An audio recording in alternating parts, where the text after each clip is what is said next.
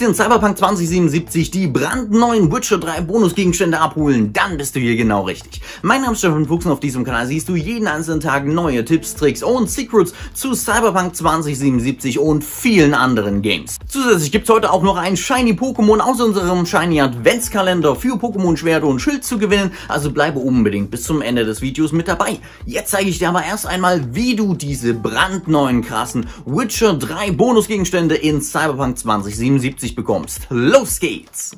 Um die exklusiven Witcher 3 Ausrüstungsgegenstände abzuholen, brauchst du als allererstes erst einmal einen GOG-Account. Also gehst du auf www.gog.com und erstellst dir hier einen Account. Keine Sorge, das Ganze ist komplett kostenlos und du musst hier lediglich dir einen Nutzernamen ausdenken, ein Passwort und schon ist das Profil angelegt. Wenn du jetzt hier in dein Profil reinschaust, wirst du bemerken, dass hier erst einmal keine Spiele verknüpft sind. Das ist auch überhaupt kein Problem an dieser Stelle kannst du nämlich dein Cyberpunk 2077 Spiel noch nicht verknüpfen. Der nächste Schritt ist jetzt das Spiel zu starten und im Hauptmenü auf der rechten Seite einmal in das kleine rote Kästchen zu gucken. Hier steht nämlich eine Webadresse drin und unten drunter ist auch noch ein QR-Code. Beides führt dich auf die Seite, wo du Cyberpunk 2077 mit deinem GOG-Account verknüpfen kannst. Sobald du den Code gescannt oder die URL händisch eingegeben hast, landest du genau hier auf dieser Seite. Hier einfach auf Belohnungen abholen klicken und schon kannst du dich hier ganz normal in deinen GOG-Account einloggen. Sobald das geschafft ist, bekommst du diese Meldung hier, dass du deine Gegenstände jetzt erfolgreich beansprucht hast und kannst hier dann auf dein Profil klicken und von deinem Profil dann auch auf den Reiter Spiele und in diesem Bereich Spiele siehst du jetzt, dass Cyberpunk 2077 erfolgreich verknüpft ist. Anschließend geht es wieder direkt zurück ins Spiel. Hier siehst du im Hauptmenü dann auf einmal, dass rechts an der Seite in dem kleinen roten Kästchen steht, dass du die Verbindung aufgebaut hast und hier deine Gegenstände bekommen hast. Hier kannst du dir sogar noch sämtliche Gegenstände anzeigen lassen, die du in-game bekommst. Die werden aber nicht von Anfang an verfügbar sein, sondern erst ab einem bestimmten Zeitpunkt im Spiel, nämlich dann, wo du dein Apartment freigeschalten hast und in dein Apartment reingehen kannst. Keine Sorge, dieser Punkt im Spiel sollte schon nach ein bis maximal zwei Stunden erreicht sein. Sobald du hier in deinem Apartment bist, gibt es natürlich jede Menge toller Sachen zu erkunden und jede Menge Gegenstände einzusammeln.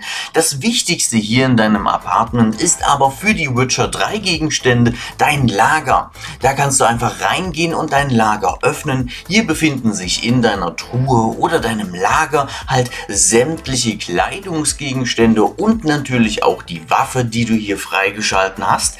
Die musst du einfach nur anklicken, damit sich die dann in dein Inventar rein verschieben und danach kannst du diese Gegenstände ausrüsten und deiner Figur dann anziehen, beziehungsweise die Waffe deiner Figur zum Tragen geben, um die dann im Kampf einzusetzen. Die Witcher 3 Kleidungsstücke sehen hier nicht nur extremst episch aus, sondern bieten dir hier auch haufenweise gute Stats, hammermäßige Rüstungswerte, sodass du hier vor allem am Anfang des Spiels einen extremen Bonus bekommst, einen extremen Vorteil dir hier einfach sichern kannst, wenn du diese Gegenstände mit ausrüstest. Ein kleiner Nachteil ist hier natürlich, wenn du die Witcher 3 Jacke anziehst, dann siehst du das T-Shirt darunter nicht mehr. Aber du kannst hier natürlich auch später noch haufenweise andere Jacken freischalten, damit du dein T-Shirt dann trotzdem weiterhin sehen kannst. Das Ausrüsten der Kleidung geht hier natürlich ganz normal im Inventarmenü. Wenn du aber die Waffe ausrüsten willst, ist sie ein kleines bisschen versteckt, nämlich das Schwert von Geralt hier. Hier musst du auf der linken Seite dann eine Waffe ausrüsten klicken und oben in der Mitte auf Nahkampfwaffen klicken, um dein Schwert hier ausrüsten zu können. Auch wenn das Menü hier krass versteckt ist, rate ich dir trotzdem, das Schwert so früh wie möglich auszurüsten, weil genauso overpowered wie die Kleidungsstücke sind, in dem Sinne, dass sie dir einfach die massiven Rüstungsboni geben, genauso overpowered ist auch dieses Schwert als Waffe. Insbesondere am Anfang des Games kannst du hier selbst ohne einen einzigen Punkt in Nahkampfschaden reinzupacken, selbst Endgegner und schwer gepanzerte Roboter mit diesem Schwert einfach auseinandernehmen.